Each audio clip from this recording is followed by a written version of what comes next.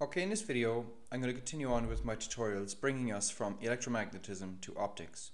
This is video number 11 and I'm continuing on my subsection for Maxwell's equations. Now in order for us to discuss the wave equation and solve it I need to show you separation of variables so I'm going to do that in this video. The previous videos to this are 8, 9 and 10. In 8 I introduced Maxwell's equations. In 9 I derived the wave equation for electromagnetic waves and in number 10 I did something I'll require in order to solve the wave equation and I converted a cos plus b sine into complex exponentials. Now look I've done a series of videos in the past on solving differential equations so if you want you can check those out for more detail but this will just be a, fast and furious video just showing you the basics uh, without much detail. So let's say we want to solve an equation of the, of the form del 2 psi del x squared is equal to a constant times delta psi del t squared. Now the best way to write this is using the following notation.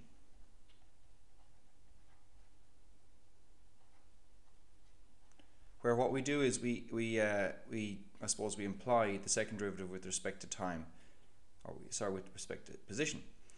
Now, the way we solve this is the following. We note that psi is a function both of, of x and t. And what we assume is we can separate it, the wave function in this case into, into a function of x and a function of t. So we call that the separation of variables. So we say psi function of x and t is to become x a function of x and t a function of t. So multiplying the two individual uh, separated um, equations should give us back the actual wave function itself. Alright, and from now on I won't write the, the functions themselves or what they're a function of, I'll just write capital X and capital T. So what we're going to do is plug this new equation, this separated equation, into our uh, into the equation I have written on the screen. So we need to get the second derivative with respect to position. So let's say we're just talking about one dimension. So we're going to get the second derivative with respect to position and uh, the, the time, of course, when you take the derivative with respect to position, it doesn't affect the, the, the time equation. And here we're going to have a capital X, capital T double prime, like that. Alright, so this here is the second derivative with respect to time of the, the, uh, the time, the time uh, function. And of course, the position function isn't affected by time at all, so we can't take the time derivative of it.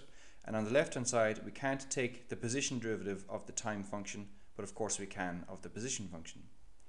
The next thing we do is we separate, um, separate out the, the functions. So we get capital X double prime over small uh, over capital X is equal to a times capital T double prime divided by t.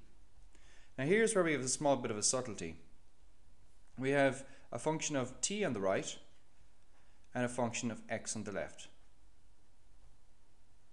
Now, what this means is that, let's say for example, I was able to change the function on the right by varying small t. Well, that means by changing time, I'm changing my position. But this function on the left is just a function of position, so it shouldn't be in any way a function of time.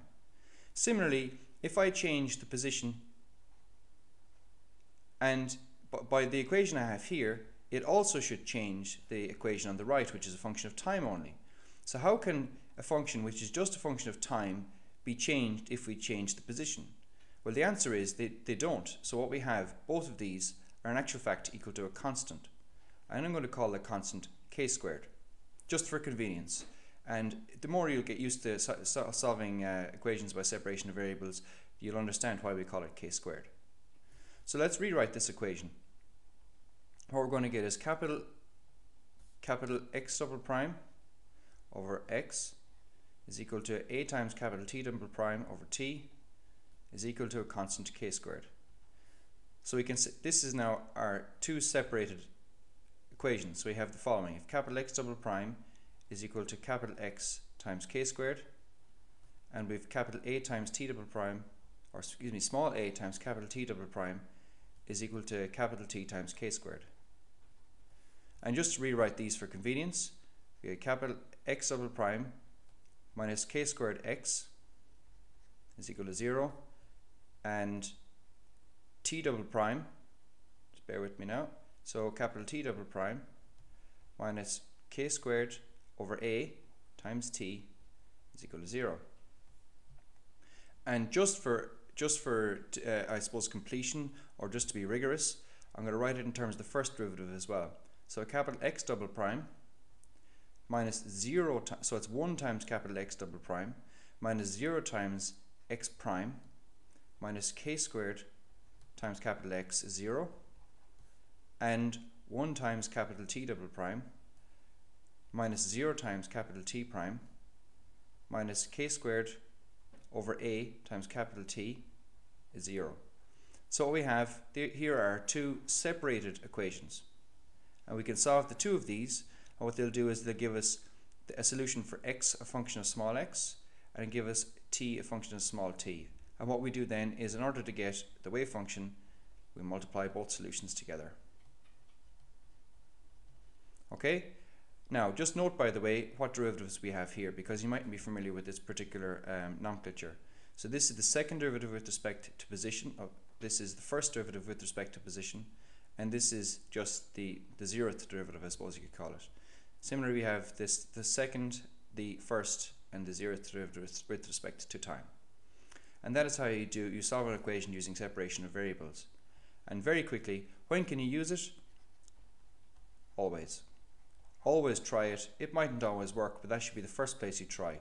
And physicists will always assume separation of variables works. Mathematicians mightn't like that though. So thanks for watching. Please pass it on to your friends, subscribe to my channel, and you might also give me a comment on the link below.